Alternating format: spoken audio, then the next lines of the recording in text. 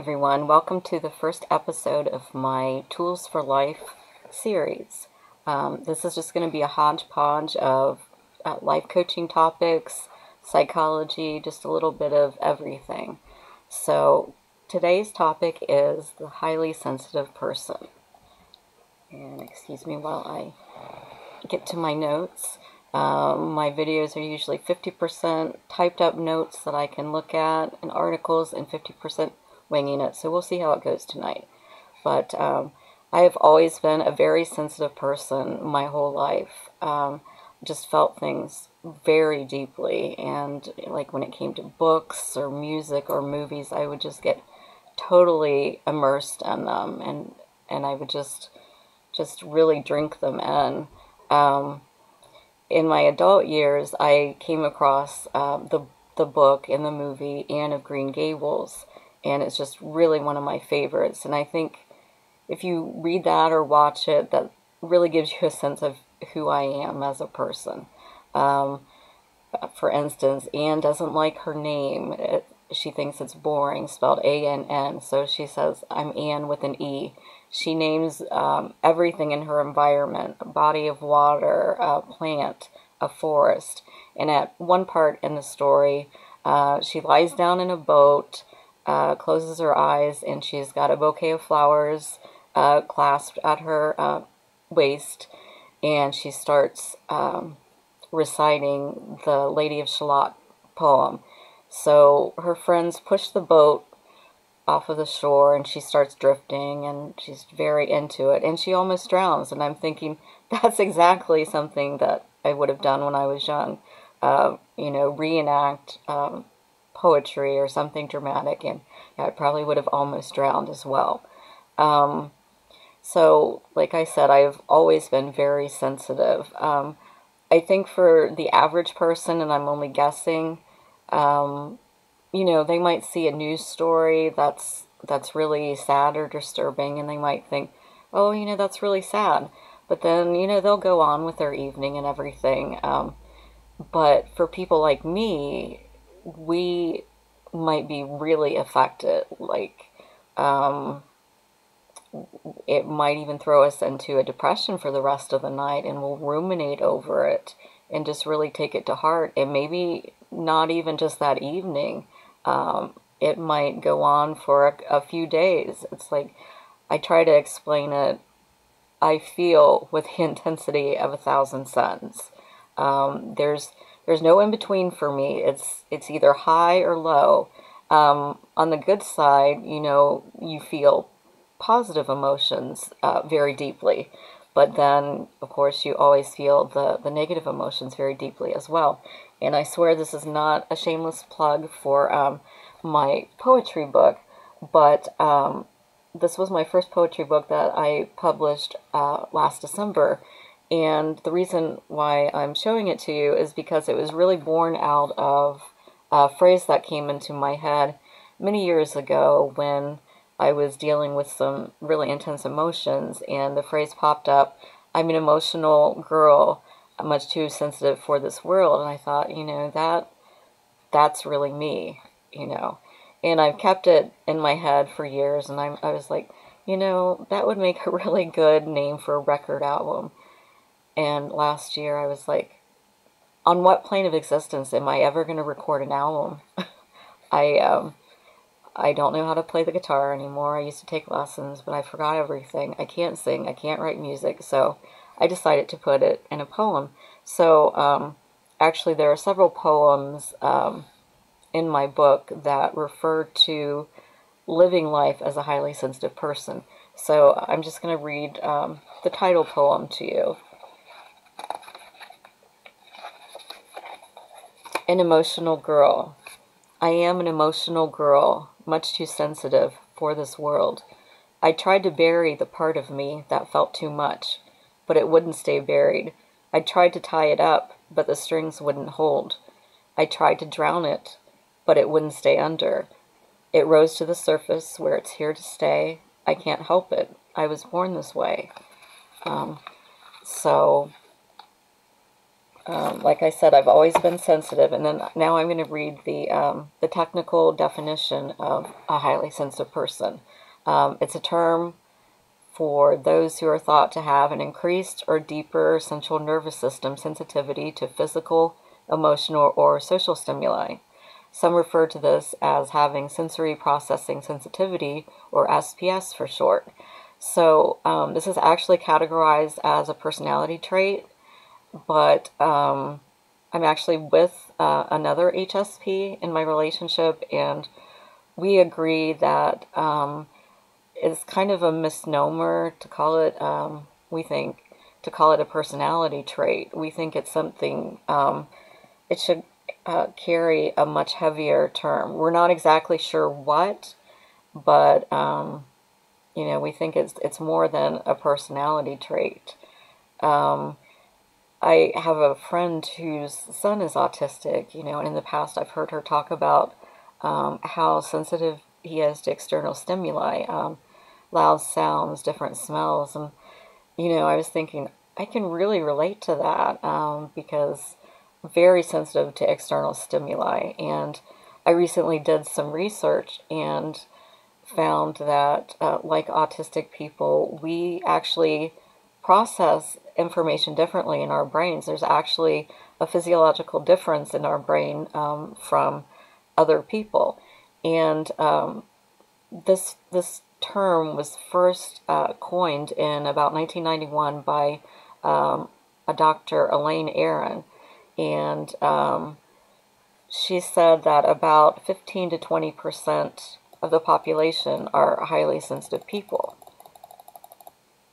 And um, I feel really vindicated um, knowing that my brain is different. I really can't help the way I am. And I don't ever try to use it as an excuse. Um, but I try to say, look, you know, I really can't help it. This is how I'm hardwired. It, it's just who I am. And um, research actually found that uh, in brain scans of highly sensitive people, there's uh, differences in the level of neuroactivity in the brains of HSPs compared with non-HSPs. And um, throughout life, we may have been erroneously diagnosed with mental disorders such as bipolar, depression, anxiety, um, and that's not always necessarily true. Um, so I, you know, it just blows me away to find out all of these years you know, my brain processes things differently uh, from other people. And let's see, looking at my notes here. Okay, and um, they also found, let me open up the right article here. Let's see. Okay, so they actually found, like I said, uh, a difference between the highly sensitive brain and the typical brain. And they found um, four differences um, in the brain um, relating to chemicals. And I'm just going to read this to you. First of all, it says our brains respond to dopamine differently. Dopamine is the brain's reward chemical. Simply put, it drives you to want to do certain things then gives you a sense of victory or pleasure when you do them. Many of the genes involved in high sensitivity affect how your body uses dopamine. In ways we don't yet fully understand, HSPs are likely less driven by external rewards than non HSPs. Rewards are the gold stickers of life, for example, a job promotion, a paycheck, or inclusion into a social group. Similar to introverts, HSPs are simply not as excited by the things that many others chase. Um, this is part of what allows HSPs to hold back and be thoughtful and observant while they process information. It also likely prevents them from being drawn to the same highly stimulating situations that end up overwhelming them. If you're an HSP and you don't find yourself very interested in a loud party or taking risks, you have your dopamine system to thank. Um, number two, your mirror neurons are more active. And I should say that uh, this is an article uh, called Highly Sensitive Refuge, uh, written by Andre Solo. Um, number two, your mirror neurons are more active. Mirror neurons play a big role in the HSP brain. They help us understand what someone is doing or experiencing based on their actions. Essentially, these brain cells compare the other person's behavior with times you yourselves have behaved that way effectively, mirroring them to figure out what's going on for them. That's an important job for a lot of reasons, but one of the other things it does in humans is allows us to feel empathy and compassion for others. When we recognize the pain or joy someone is going through and relate to it, it's because of the system.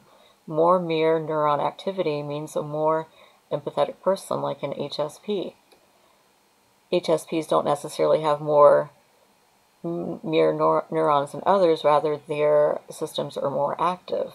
Uh, in 2014, uh, brain imaging research found that HSPs had consistently higher levels of activity in key parts of the brain related to social and emotional processing. This higher level of activity kicked in even in tests involving strangers, meaning HSPs can easily extend compassion to people they don't personally know. The effect was still highest with loved ones, however.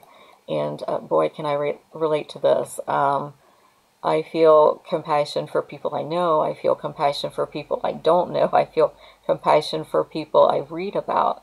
I remember years ago um, reading about the Polly Klaas case in California where uh, a young girl was kidnapped from her bedroom and uh, murdered. And it just it just really made me so sad and I, I think I started to cry and my husband at the time said you know why are you crying? You don't even know this person. And that's that's just who we are how we are um, just has this we have this such depth of feeling um, we can't help it. Um, number three you really do experience emotions more vividly Hidden away in the front of the brain is a fascinating area called the ventromedial prefrontal cortex. This area is hooked into several systems involving your emotions, your values, and processing sensory data. When we say that highly sensitive people processing, process things more deeply than others, there's a good chance it happens right here. Um, while the role of the VMPFC is not yet completely understood, it's definitely associated with emotional regulation and it enhances the things we experience with a certain emotional vividness.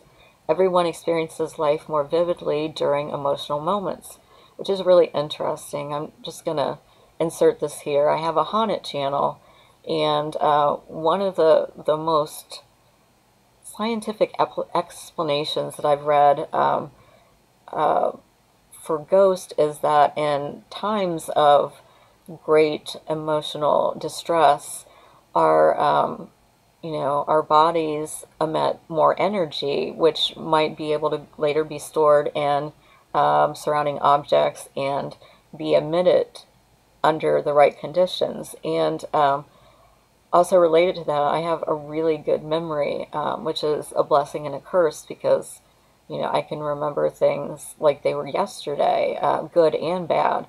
And my own personal theory is because we feel so deeply, these, uh, you know, memories and experiences just imprint themselves um, even harder in our brains so we do remember them. You know, I used to think that everybody could remember everything. Um, you know, I, I helped plan a lot of my, um, my high school reunions and uh, like I said, I can remember I can remember things like it was yesterday, conversations in the hallways, what people were wearing, um, all sorts of things. And I guess I just expected everyone to have that level of memory. And, you know, I talked to some people who have like no memory of school whatsoever. Um, so it's just really interesting. Um, number four, other people are the brightest things on your radar. For less sensitive people, it's easy to tune out other people. But for an HSP, almost everything about the brain is wired to notice and interpret others. This is clear from the many other parts of the brain that get extra active for HSPs in social situations.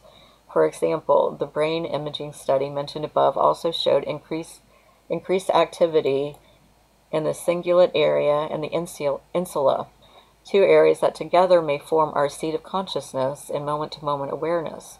For HSPs, these areas become far more active in response to images of other people, especially those exhibiting a relevant social or emotional cue. In other words, highly sensitive people actually become more alert, almost more conscious in a social context. If you're an HSP, other people are the brightest things on your radar. Oh, that's so true. Um, now I'm going to skip to another article, and you might be wondering, well, how do I know if I'm an HSP?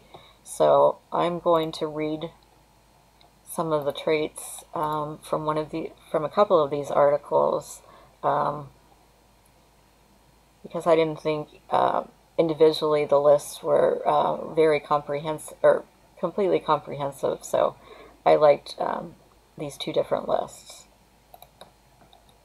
So, um, like we said, they feel more deeply, or we feel more deeply, um, which I already went through. Um, we're very intuitive, go very deep inside to try to figure things out. Now, um, in the last couple of years of my life, I actually wish I weren't so intuitive because I've actually um, seen some really bad things coming in my life. I could sense them, I could feel them. I knew they were coming, and they were bad things. Um, bad things that I didn't want to want to be right about, catastrophic things, and you know, I, I was just like, you know what, I don't want to be intuitive anymore.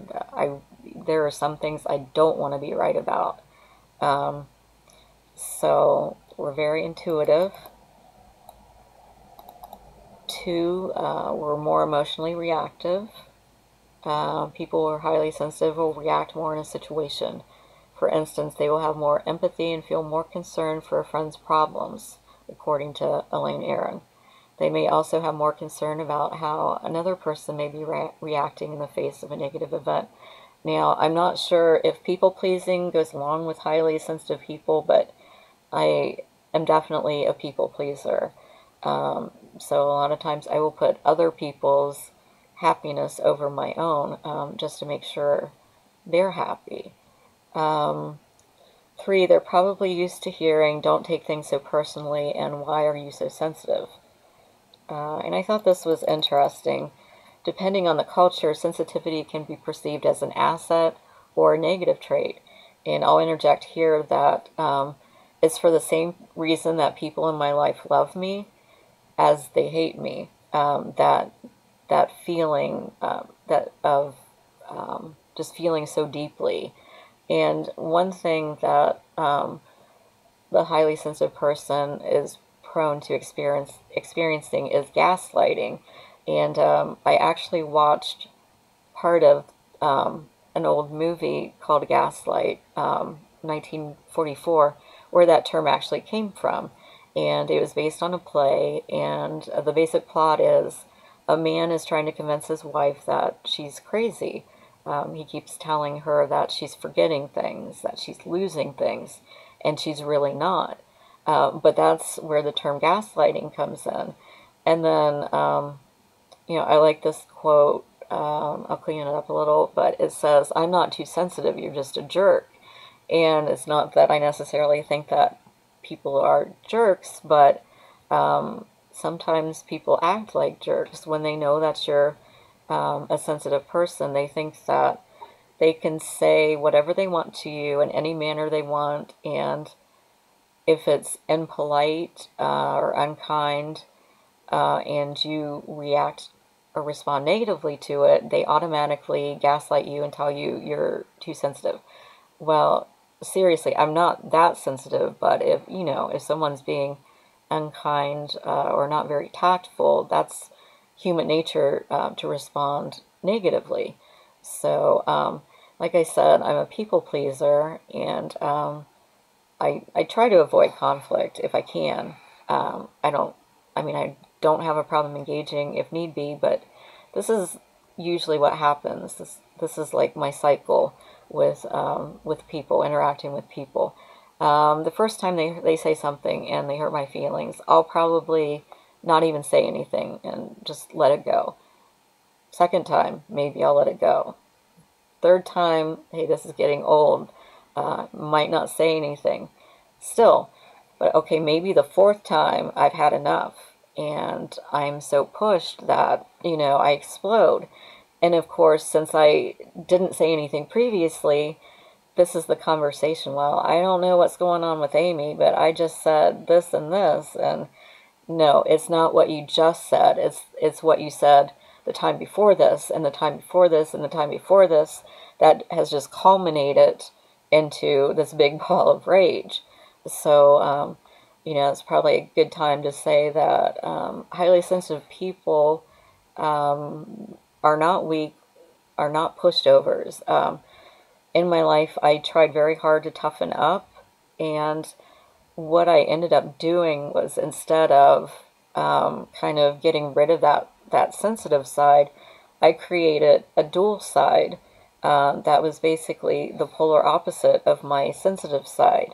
So I've got this very nice, sweet, sensitive top, sensitive side that you know loves old Disney movies and likes to collect teddy bears. And then on the opposite end of the spectrum, I've got what I call this hardcore, very intense side, um, who wanted to be in the FBI and chase criminals and um, kind of a, an adrenaline junkie and um, kind of a don't mess with me persona or, you know, my loved ones, or I will turn Liam Neeson on you in the movie Taken. So I was talking uh, to my boyfriend earlier and I said, Do you think that, you know, because we both have these dual sides that are just polar opposites. And I said, Do you think that all highly sensitive people have these these um, dual sides? And he said, Yeah, probably because we do feel things very deeply, like the highs and the lows. So, if you are a highly sensitive person, I would like to hear from you. Um, do you have two different sides to your personality, or are you just completely the highly sensitive person? Is that your only um, your only personality? And I I don't mean that in a multiple personality disordered way, but I think we all have different aspects um, of our personality. So I'm just really interested to hear if that's kind of a normal occurrence or not. Um, this is definitely me. They prefer to exercise solo, solo. So that that very serious side of me is very intense and very driven, very laser focused on whatever I'm doing.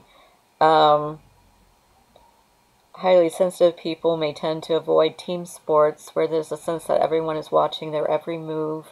Um, I guess I, I, you know, when I was able to play sports before I was injured, you know, I, I think I liked all sports, but I think my favorite one was tennis. I like gymnastics, and, you know, those, those are things that you do solo. And, um, you know, for my working out, you know, um, that's not something I I really ever wanted to do with anybody else because I would go into my own little world and I took it very seriously. So if I were to go to a gym today, um, it's not to be social. I would probably put my earbuds in and just, you know, zone out in my own little world. Now this this one is kind of ironic because I didn't think this was true at first, but it takes longer for them to make decisions. Well, based on the fact that it took me, I'm not even going to tell you how long it took me to figure out what background I was going to use tonight. Um, and I'll read down a little uh, below this. I wasn't sure, you know, it, that this was me because it was saying that it takes longer for us to make decisions and to do things. They just like a slower pace of life. I'm like, no, I'm kind of the opposite of, of that because my brain moves very fast. It's kind of like a pinball machine with ideas just pinging around in there. So I tend to be, you know, I tend to do things quickly. But then I read, I started to read on, and it said um, uh, highly sensitive people are more aware of subtleties and details that could make decisions harder to make, even if there is no right or wrong decision. For example, it's impossible to choose a wrong flavor of ice cream. Highly sensitive people will still tend to take longer to choose because they are weighing every possible outcome. Okay, yeah, that's me. But even further down, they talk about, um, let me find where it is. I hope this is the right one. Oh, it's in the, actually, I think it's in the other article. But I absolutely have to read it because this is definitely me. Okay, here it is. Slower, simpler pace of life. So they're talking about, you know, which item to buy at the grocery store. Um, and it says that we have to take into consideration a mountain of choices, nutrition information, price, and how we feel about chicken noodle soup. And this is me to a T. Suddenly, their mind flashes to chickens being cooped up in tiny cages and slaughtered, and they must take a few beats to ponder if they can live with this reality on their dinner plate or not. All of this takes time. I'm like, okay, you got me there.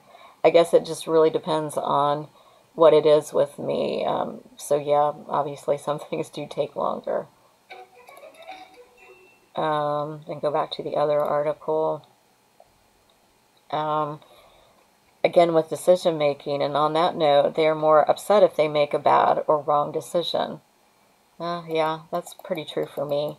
You know that uncomfortable feeling you get after you realize you've made a bad decision. For highly sensitive people, that emotion is amplified because the emotional reactivity is higher. That is so true with me. And and it could be something as simple as feeling like I ordered the wrong thing at dinner, which is ludicrous, but we ruminate over the the most minor things or what other people would consider minor that they wouldn't even think about. Um, number seven, they're extremely detail, detail oriented. Highly sensitive people are the first ones to notice the details in a room, the new shoes that you're wearing, or a change in weather. Yeah, that's definitely me. Um, eight, not all highly sensitive people are introverts. In fact, about 30% of highly sensitive people are extroverts, according to Aron. She explains that many times highly sensitive people who are also extroverts grew up in a close knit community, whether it be a cul de sac, small town, or with a parent who worked as a minister or rabbi, and thus would interact with a lot of people. Um, to this day, I still can't figure out what I am. Um, some things, I sometimes I feel like I'm an extrovert, but then other times I feel like I'm an introvert. Um, it depends, I guess, on the situation um, how well I know people. I was telling my boyfriend earlier that I read that highly sensitive people are very outgoing with people they trust. And I, I feel like that's definitely true for me. But I, I feel too like I can be semi outgoing uh, with people I don't know as well. Um, like I said, it just really depends on the, the setting, the circumstances. Now, this is really not me. They work well in team environments. Um, I'm going to say it. I don't want to say I've never been a team player, but um, I've always preferred to work on my own. Uh, just tell me what you want to do and let me do it, kind of thing. Uh, I don't like having to run things by a lot of people. I like to. I like a creative license. Um, you know, so it's not that I can't work um, in a team environment, but um, that's definitely really not me. Um, 10, they're more prone to anxiety or depression, but only if they've had a lot of past negative experience. I'm, I'm going to disagree with that um, because I think with a highly sensitive person, I think even if they had, you know, a really happy life and not a lot of negative experiences, they they're still going to react very deeply to um, to uh, bad news or something like that. So I don't really agree with that. Um, let's see. Number 11. Uh oh, whoops. That annoying sound is probably significantly more annoying to a highly sensitive person. Um, I don't know. It's really weird because I do get overwhelmed uh, sometimes when there's a lot of external stimuli, but at the same time, Las Vegas is one of my very favorite places to visit, and I don't know if it's just that I haven't traveled, you know, much in the, the last several years or whatever, and I'm just thrilled to be on a vacation, but, um, you know, I guess it depends too. If I know that I'm going to go to a place that has a lot of external stimuli, I can kind of prepare myself. Um, but if I get to, uh, you know, somewhere where I don't expect there to be a lot of chaos and, and external stimuli, then that can be very overwhelming. Um, so again, I think it just really, really depends. Um, this one, not me. Um, 12, violent movies are the worst. Um, I actually really love gritty, realistic movies. Um, you know, some of my favorites in that genre would be um, the movie Rush with Jason Patric and uh, Jennifer Jason Leigh, and also with um, Jason Patric, uh, Sleepers, which and both of those were actually um, based on true stories. Um, but um, I have to be careful what scary movies I watch um, because I have that overactive imagination. So, but then again, I don't know if it's because I cultivated that dual personality, you know, wanting to be in the FBI and try to kind of harden and toughen myself. So, um, you know, I can deal with those things um, that, like I said, that might not be typical of an HSP. Now, I, I don't watch the news. I will read the news on the internet, uh, in the newspaper, but I don't watch the news. And um, it's just a lot more emotional for me, I guess, if I if I see it, maybe. Um, so maybe that's a little accurate. I don't know. Um, number 13, they cry more easily. Well, you know, when I was um, very young, I, you know, I, I did cry a lot. And then I learned, you know, that I don't feel it, it's a weakness, but a lot of people do view it as a weakness. So I kind of, you know, stopped that. I would just keep my emotions inside.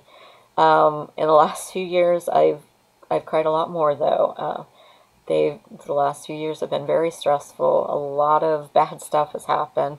And yeah, I really hate it because I do cry more easily now. And I'm the kind of crier, when I cry, I get angry that I'm crying. So that makes me cry harder. But there are probably people that I who've known me for decades who've never seen me cry. Um, let's see. 15. The effects of criticism are especially amplified in highly sensitive people. Um, to a point, I agree with that, especially if I feel like I've let someone down. Um, you know, then that, you know, I'll get really upset. And they might view that as me taking the criticism too um, personally, but it's it's actually because I feel like I have failed. Um, but I'm also very sensitive to how I'm approached. Um, you know, there's this thing called tact and you know when people don't use it with me um, yeah i can be a little reactive um, so but you know who really does respond to criticism now if it's if it's presented in a constructive way and it's really coming from a good place then yeah it's a lot easier to handle but I think it has a lot to do with people's intentions. Um, are they saying this because they really want to help you, or are they saying this because they want to control you? Um, another example of gaslighting. Uh, let's see. Number 16, cubicles. Cubicles equals good. Open office plans equals bad. Um, just like highly sensitive people tend to prefer solo workouts, they may also prefer solo work environments. Well, for me, um, I'm actually disabled with a chronic illness, so I work from home. But yeah, like I said before, I would rather you just tell me what you want me to do and let me go off on, on my own. So I would agree with that one for myself. And that is the end of that article. And then, let's see, difference between, okay. So now, actually, I guess I didn't have two articles that talked about the traits. Um, now what I want to talk about is we've talked a lot about um, the the negatives of the highly sensitive person and the other night I was reading an article and it was talking about the negatives and they said well there are a lot of positives to being uh, a highly sensitive person but we're not going to talk about them. And I said well shoot you know that sucks. So um, I had to had to find another article so let me close this. I've got about 10 windows um, open. So now I'm going to talk about the good things um, that come with being a highly sensitive person. Let's see. Oh, they didn't number them. Okay. So I've got to kind of go through this here. Um, see. They go. Oh, there, they did number them. Okay, I didn't scroll down.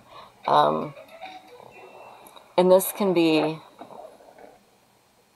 a good or bad thing, as we talked about. Intuition.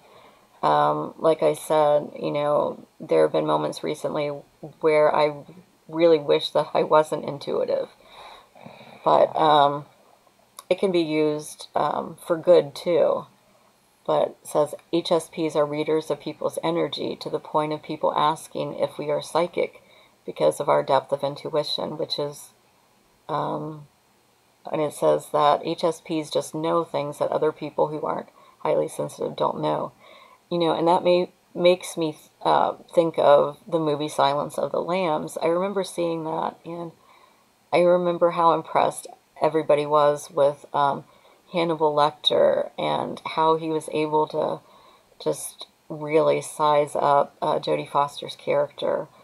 Um, and I thought, I think a lot of that's just intuition. He just, he's a good listener and he's good at sizing people up, not realizing that not everybody is able to do that.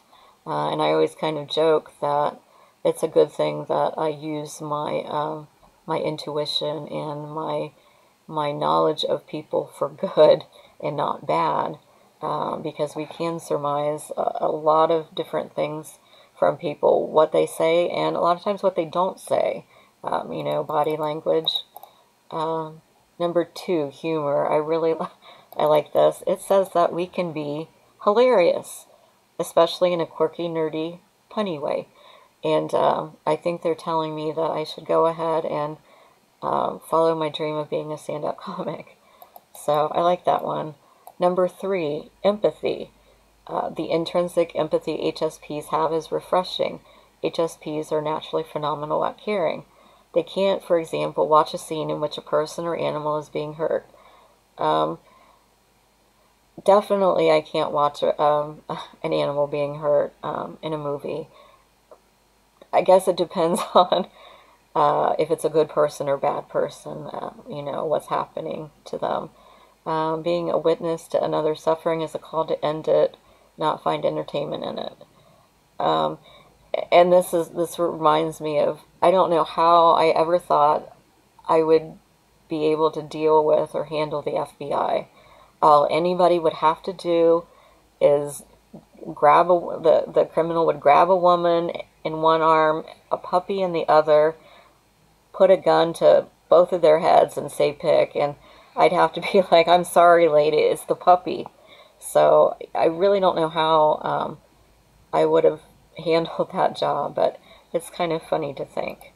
Uh, for environmental awareness, HSPs seek refuge in nature where every sense beautifully activates. um, yeah, I, I like my I like my nature in doses, but then I also like my really nice hotel rooms with room service. and again, that's that's probably because um, I'm just in desperate need for a vacation. Um, let's see. Number five, appreciation for the little things. And I am really thankful, you know, for this characteristic because um, I am able to find the joy in just little things. Um, let's see, it says you're astutely aware of such microscopic details that others may not even notice what you're reveling in. Um, you think you linger on the variety of oval shapes of raindrops on your windshield and the way the flower bud sways in the breeze. Uh, you're that rarity who, without struggle, discovers a world in a grain of sand. in a microscopic photo of a tiny bug's face will only serve to expand your compassion to all life. Yeah, I, I, I can agree with that. Um, I tried to get some pictures um, of some bee butts and my uh, my trees outside because uh, there was a time on the internet where these really cute pictures of bees stuck in a flower with their butts sticking out uh, were really popular. And I just thought that was the cutest thing and it made me laugh. So I tried to recreate that um, in my front yard, but I only uh, succeeded in enraging the bees, so that didn't happen. So, like I said, the thing with nature is, you know, good sometimes, bad sometimes. Uh, number six, creativity. One benefit of having such a rich internal world is HSP's innate creativity. To the HSP, there's no other way to create or to exist. Creativity is our natural state. To ignore it is to go against the essence of who we are. So say the highly sensitive ones. Um, and I'll say when I'm not able to create, um, I, I get very stressed out. And I did another video a while back that when you're dealing with a chronic illness, a lot of your life just centers around um, just surviving, and you don't really get to move up in the hierarchy of needs when your your whole existence is revolving around just making sure your basic needs get met. So that becomes very frustrating for me if if I don't if I don't have that time to that outlet to be creative in any way. Um, let's see. Uh, number seven, deep friendships.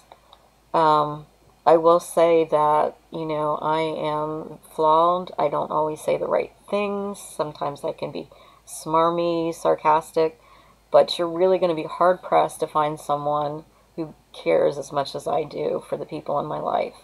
Um, you can try, but I'm telling you, it's going to be really hard.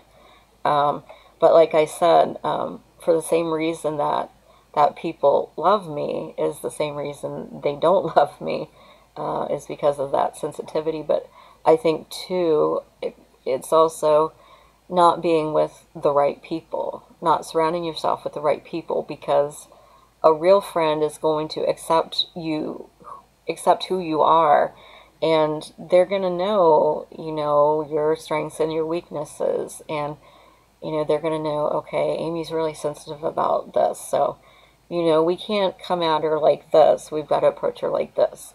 You know, you really need to be, and really, I think this goes for friends of anyone, not just highly sensitive people. You really need to be around people who accept and respect your your personality, your differences, um, and that's that's that can be really um, a hard lesson to learn. Um, number eight, desire to nurture. Um, with the innate empathy of HSPs, nurturing others comes naturally. Having a sixth sense of what others need also lends itself naturally to a joy of nurturing children, animals, the environment, or people in general. Um, I will definitely agree with this uh, for myself. I wasn't always that way. I don't want to say I was unkind, but um, I kind of eventually developed like a very motherly uh, personality, very nurturing um, over the years. Um, so, yeah, I definitely would agree with that. Number nine, skillful at observing minor differences and details. Absolutely. And, you know, one reason I wanted to um, join the FBI is because, you know, I, I believe I do possess um, some of the characteristics that would have been helpful in crime solving. Uh, I am intuitive, I am analytical, I do observe minor differences and details. Um, see. I don't know why they're they're talking about nature again, love of nature. Um, like I said, my experiences in nature are kind of 50-50. It's it's great if I'm at the beach and you know the waves are great, but not so great if I'm getting stung by insects. So, um, and this kind of says what I just said. There are trade-offs with just about every aspect of who each of us is. You know, so if we can find like-minded people or people who who do appreciate and respect your you know your personality um, traits and your quirks and that's a really great thing. Like i said my boyfriend and i are both highly sensitive people and um, we are just so similar and so connected. And you know i almost think that the only person that can understand a highly sensitive person is another highly sensitive person but i could be wrong. Um, so let's see Okay, and then just real quick, this is what highly sensitive people need to be happy. Uh, and we were talking about a slower, simp- simpler pace of life, and um, yeah, and that was about the chicken noodle soup and the chickens. Um, number two, time to wind down after a busy day.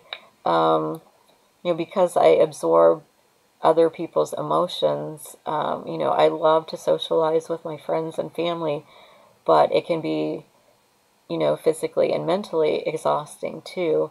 Um, even if I didn't have a chronic illness, I would still need time to uh, wind down and decompress after a busy day. And then tied into this is um, number three, a calm, quiet space to retreat to. Um, they're talking about, you know, relaxing with a book or something like that. Uh, four, permission to get emotional and have a good cry. Yeah, like I said, I really don't like crying and showing that side of me, but it can be cathartic um, uh, to uh, acknowledge your emotions, what whatever they are, positive or negative. Um, let's see. See. Number five, time to adjust to change. Um, it says that um, we need some time to adjust to different transitions. And I guess for me, um, again, it just depends on what kind of change it is. Um, see, number six, close, meaningful relationships. Absolutely. Um, HSPs crave deep connections with others. Uh, in fact, they may get bored or restless in relationships that ma- lack meaningful interaction. However, this doesn't mean that they're prone to relationship hopping. Rather, they may actually work harder to strike up a meaningful conversation with their partner and create intimacy. Um,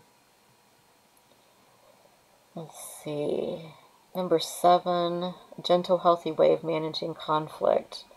Um, I've noticed for me that um, when my emotions, especially my negative emotions, become overwhelming, uh, some of the things that help me are really watching what I put into my brain, what I watch, what I listen to. Uh, so I'll try to play happy music uh, I will watch happy movies or TV episodes. I will try to um, participate in an activity or hobby that brings me joy. And uh, right now, those things have really been helping me a lot. Uh, let's see. a good night's sleep. I don't know what that is, but if you can get it, then that's good for an HSP. Healthy meals, spaced regularly throughout the day. Yeah, I like my food. Um, 10 caffeine free non alcoholic options. Huh. It says that we're more sensitive to the effects of caffeine and alcohol. Um, that might be true um, for normal HSPs uh, with the caffeine, but for me, um, I have extreme fatigue, so uh, with my chronic illness, so caffeine doesn't bring me to like a higher level of energy or anything. Number 11, an outlet for their creative side, which we already talked about. 12, a strong sense of purpose. And that's definitely, definitely something um, that I struggle with. Um, you know, even though I've been disabled for a lot of years, um, I still struggle with feeling like I have a purpose um, because in our society, our um, our value is oftentimes uh, tied into like our jobs, our careers, and since I don't work outside of the home, sometimes I really struggle with that. So, and it says that um, we need, we definitely need direction or a purpose, and that's definitely um, true for me. Uh, number 13, which I was just talking about, loved ones who understand and respect our sensitive nature. Um, so it says, because most people are not highly sensitive, they simply don't understand what it's like to get very stressed out by, say, a startling noise, a busy weekend, or a violent scene in a movie. Not everyone will understand, and that's okay. But what an HSP needs is at least a few people, preferably the people closest to them, to get their sensitivity. Someone who not only gets it, but helps protect them from overstimulation. Um, and just going to interject something. Um, I hear a lot about how, you know, the most important thing in a relationship is truth and blah, blah, blah, being truthful. Well, for me, I think that the truth is overrated um, because I want you to tell me, oh, honey, that, that little baby bird that you rescued and tried to nurse back to health, um, it flew off. It's fine. You know, don't tell me it died. You know, so um, it, it helps to be around people who um, who understand you and respect your nature. Um, number 14, natural surroundings and beauty. Um, I've always been guided, you know, by my my senses. I like things that look nice, taste nice, feel nice. So they're talking about creating, um, you know, a, a space where you can really relax and that's it for that article. And um, I believe that's that's it for this episode. Um, thank you so much for watching. Let me know if there if you're a highly sensitive person and if any of this rings true. Uh, let me know if if you disagreed with any any of the characteristics that they were talking about and let me know if there are other topics you would like for me to discuss. So thanks for watching. Be sure to like the video if you like it um, and subscribe.